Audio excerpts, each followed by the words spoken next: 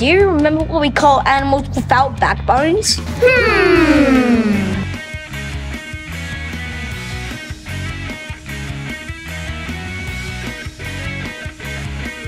We call them invertebrates. There are many groups of invertebrates. In fact, most of the animals in the world are invertebrates.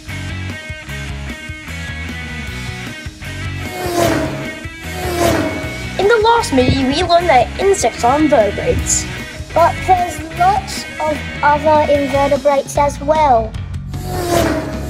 Can you think of any invertebrates that aren't insects? Well, we'll give you a hint. It's in your garden. And you use it for fishing.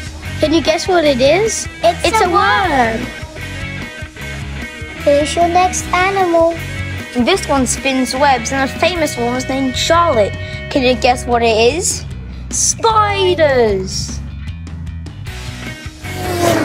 See if you can guess this next invertebrate. It lives in the ocean and it starts with the letter J. Can you guess what it is? It's, It's a, jellyfish. jellyfish.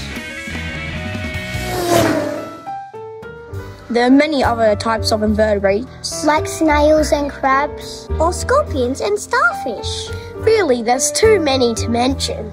They all have one thing in common. Can you remember what it is? They all have no Backbone! So hopefully you understand a bit more about invertebrates. Hey, Don't, forget about the quiz.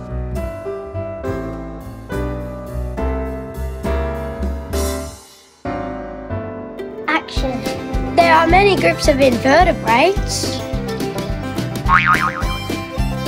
In fact, what what's my line again?